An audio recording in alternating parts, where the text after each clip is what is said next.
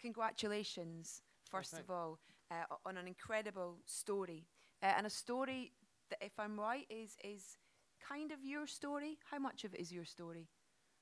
Um, the uh, yeah, too much. I think. Uh, I think. Uh, yeah. I mean, I, I was a jazz drummer in a sort of competitive um, uh, ensemble. In my case, it was high school, um, but it was sort of a special kind of high school program that was modeled after sort of conservatory programs, and and with a very sort of tough teacher and a very kind of cutthroat sort of atmosphere. So I just remember. I guess to me, the if the movie was about anything, it was about the sort of fear that you feel as a musician in that in that circumstance and how antithetical that seems to art you know that you think of art and especially jazz as something that should be freeing and, and liberating and um, something where you're kind of communicating emotionally with people um, and and then it turns into it but at the level of education at the level of sort of raw honing of technique before you can access, you know, sort of before you can be able to improvise, before you can be able to do a lot of the things that we more normally associate with jazz, there is this element of utter rigor and utter discipline and almost military hardship that I just don't think we kind of know enough about or see enough about in movies about musicians. I think there's this idea that you kind of roll out of bed and you, um, and suddenly you're kind of improvising great solos and and um, and I don't think we see enough movies about practice. So um, so that kind of that sort of aspect of it and the and the sort of fear that comes from not mastering that kind of technique is what I kind of wanted to hone in on. You mentioned the word fear there, and the gentleman sat next to you uh, injects fear quite brilliantly. Uh, congratulations. I mean, Fletcher, what, what, what a character. Um, what, what, what, what do you think drives him? What's his drive? uh, passion and uh, uh, for the music and, and utter perfectionism uh, and uh, complete single-mindedness of uh, pursuit of that goal. Human collateral damage notwithstanding.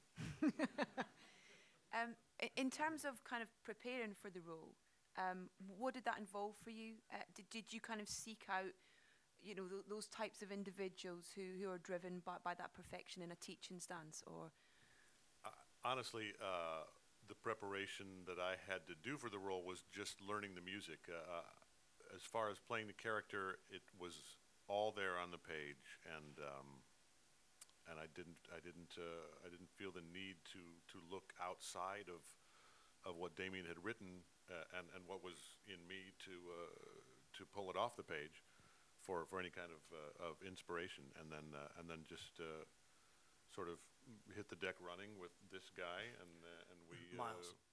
Uh, oh yeah. It's okay. Hey, yeah. um, and uh, we, uh, you know, did our thing. Um, and Miles, you were a, uh, you were you drummed from the age of fifteen as well, which which stood you in good stead. But you had to learn a whole other discipline for, for this. Yeah, I'd, I'd played uh, I played drums since I was like 15. And my family, kind of, both me and my older sisters, we all kind of played instruments. I started with piano, and then I played. I actually played saxophone in jazz band in middle school and high school. That was kind of it's my any knowledge I had of jazz music was was just playing alto saxophone, and, and I only played that up until sophomore year, and then I you know started playing baseball, other stuff. But uh, but yeah, with drumming. I drummed in, in some rock bands. I just asked for a drum kit when I was like 15. My parents were, you know, kind enough to, to buy me one, and, and I just started playing with, you know, my buddies who played guitar kind of, and we covered like Green Day and you know stuff like that, and and uh, you know, but I've I've always taken my drum kit with me, and but I'd I'd never taken any kind of lessons for it, so it was a whole.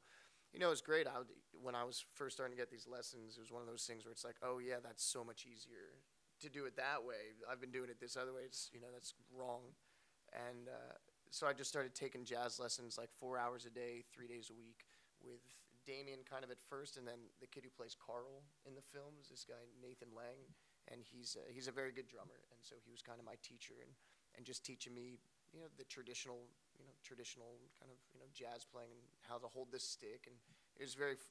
F- basic at first literally Mm. like this is how you hold the stick and this is how you hit the snare drum Starting again. and even that is like just this motion right here. Damien would have me practicing this just for hours. On you my doing that, thigh. and yeah. then JK doing that. It's kind of like this. boom. Ooh, that's the tech. Ooh. fear of God shoots through Yeah. me when he does. Yeah.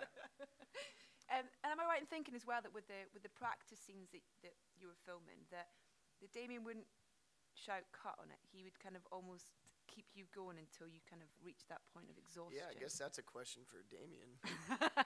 really? Yeah. yeah. Makes me sound so tyrannical. I, uh, um, no, I think that's that's just one scene that we're talking that Mi- Okay. Miles, Miles likes to Miles likes to uh, give me grief for. Um, it is true though. I mean, we shot the movie so quickly that when you when you kind of you know, I mean, w- w- when you look at Miles on screen, it's, uh, it's, uh, you know, he's not sort of acting exhausted. I mean, there's real, there's real sort of exhaustion that, um, you know, maybe was the the one weird benefit of having such a, such a kind of, uh, um, such a tight schedule and such an unrealistic schedule in a way. Time to get this out there. 19 days for the whole shoot. Wow. Did that help? Sorry, I will get to your questions in just one second.